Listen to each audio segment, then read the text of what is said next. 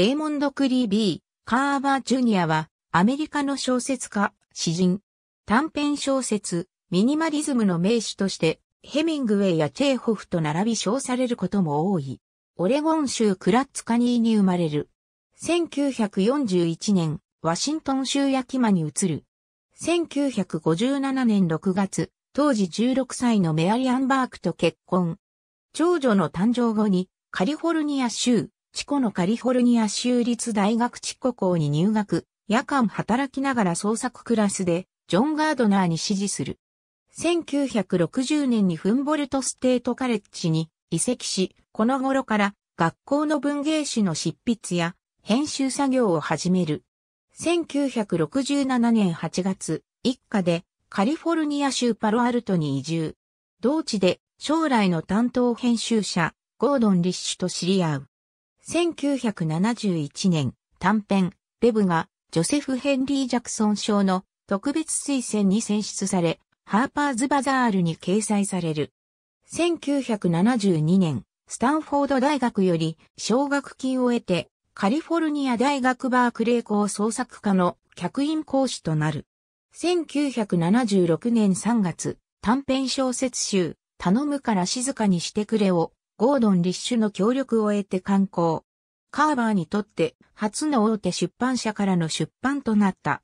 しかし、その矢先にアルコール中毒で入退院を繰り返し、同年10月、メアリアンと別居。1977年にアルコール依存症治療施設に入所。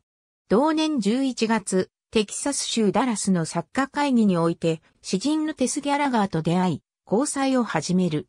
1979年3月、ニューヨーク州のシラキュース大学の英文学教授に任命される。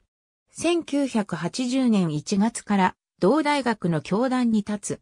1982年、メアリアンと離婚。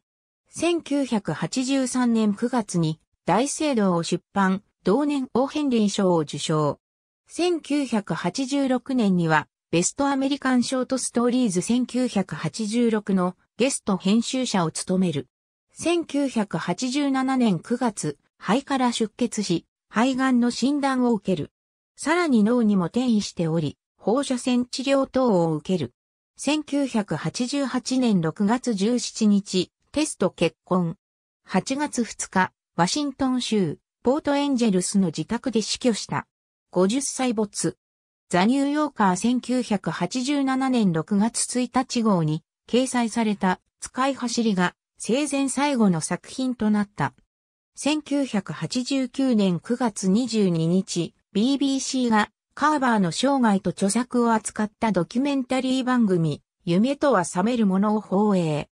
文芸誌、海1983年5月号の特集、今日の海外文学21レーモンドカーバーに掲載された7つの短編が最初に翻訳された作品である。